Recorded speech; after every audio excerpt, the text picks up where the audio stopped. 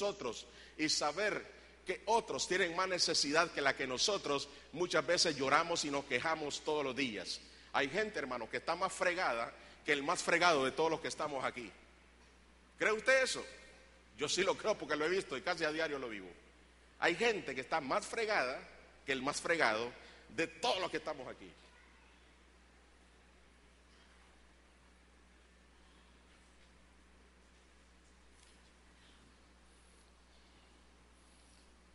Una de las razones por las que es urgente que te integres a la familia de la gente contenta es para cumplir de forma práctica con tu llamado a servir a Dios y a servir al prójimo.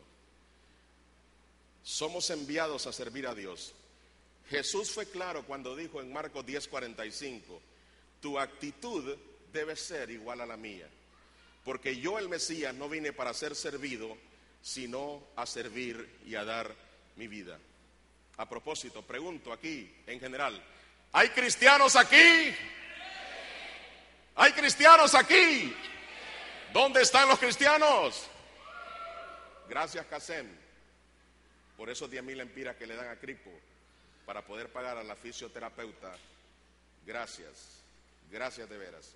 Así construimos una mejor Puerto Cortés, así construimos un mejor país. Gracias a los niños de sexto A y B de ABS por llegar 10 mil empiras de su proyecto social y donarlos también al centro de rehabilitación. Gracias a ellos. A ver cuándo vamos nosotros y hacemos lo mismo. Amén. ¿Cree que lo podemos hacer? Claro que lo podemos hacer, hermano. Claro que lo podemos hacer. Así que los animo.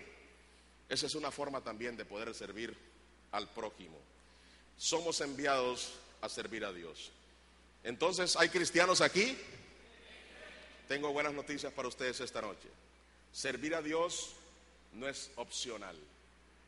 Servir a Dios no es opcional, sino que debe ser algo que debe estar arraigado en nuestros horarios, porque servir es el corazón de la vida cristiana. Servir a Dios no es opcional debe estar considerado en nuestros horarios, porque servir es el corazón con que palpita la vida cristiana. ¿Sabía eso? Servir es el corazón con que palpita la vida cristiana. Recibí una llamada de esta señora que está aquí.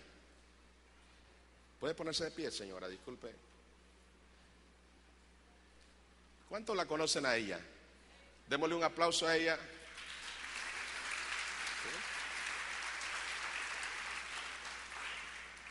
Sit down, please. Es por los de Búfalo.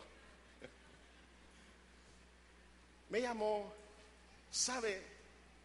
Ella está soñando con un proyecto para poder tener una casa hogar para niñas abusadas. No que digan, ah, no, así pues bien búsabo. No, no eso, ¿verdad? Niñas abusadas sexualmente, niñas que han sido ultrajadas, maltratadas.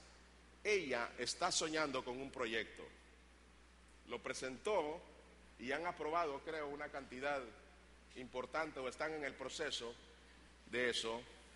Están buscando un terreno por acá cerca de la ciudad y tener a esas muchachas ahí para poder darles calor humano y como decía el anuncio del banco y un trato de hermano también. ¿Ustedes creen que nosotros podemos colaborar con eso? ¿Usted cree? De repente la vecina suya, la hijita de la vecina suya fue violada o usted mismo ha sido víctima de la violación en Puerto Cortés.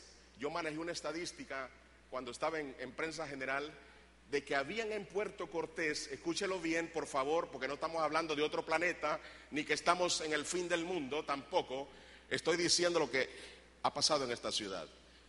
Hubo un momento en Cortés que había 43 niños violados en menos de 30 días. Y en las puertas del presidio de Puerto Cortés yo me encontré con gente que estaba queriendo poner la denuncia, pero estaban llenos de temor porque el tipo que había cometido el daño, le había dicho a la señora, si me quemas te mato. Si me quemas te mato. ¿Ah? Gracias, Elida, por, por ese sueño. Podemos hacer, hermano, necesitamos hacer algo. Como iglesia, ya creo que suficiente tiempo hemos descansado.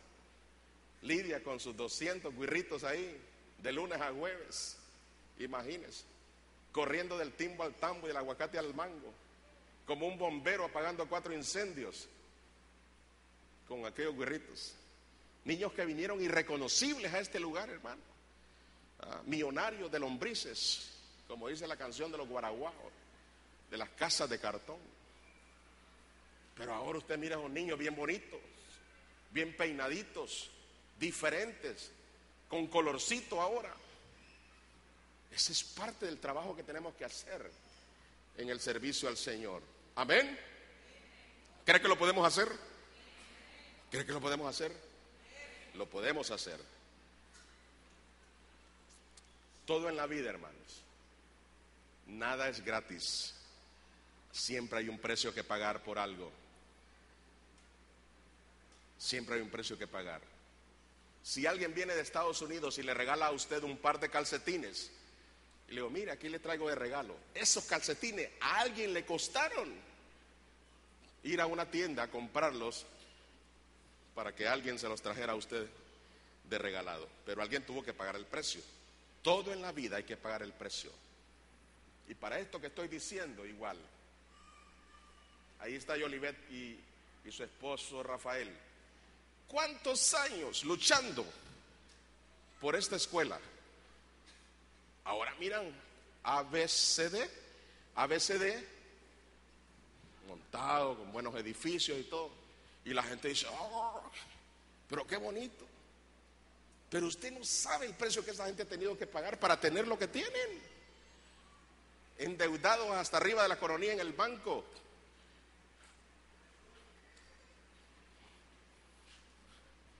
Como yo le decía a los discípulos una vez, ponerme esta corbata a mí me costó cuatro años lavando 30 servicios sanitarios diarios en el seminario bíblico. 15 sanitarios de las mujeres, 15 sanitarios de los hombres. Ay, pero qué elegante se ve.